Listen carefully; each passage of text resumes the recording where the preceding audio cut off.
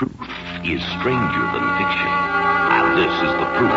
This is Ripley's. Believe it or not.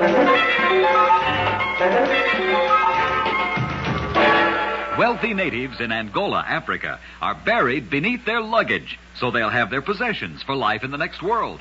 Believe it or not. In a moment, I'll tell you about a dream that came true. Do dreams ever really come true? Or are they merely a form of wishful thinking? For John Helder, a farmer from Soham, England, a dream was something more than mere fantasy. It was rooted in fact. So when Helder dreamed of falling in love with a girl he saw in his dream, he began to search for that girl from house to house for months until finally he actually found her. The girl from his dream became his happily married wife for 40 years. Believe it or not.